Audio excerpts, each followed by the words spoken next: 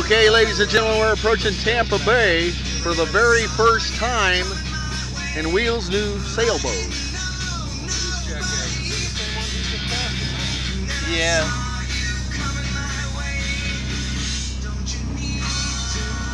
Okay, approaching Tampa Bay for the first time in Wheels' new sailboat. Ricky, how do you feel about it? I feel pretty good, pretty relaxed so far. Of course, uh, you know, the adventure hasn't really begun. We don't have the main up, but that's coming. Uh, we might get blown out to sea. I don't care.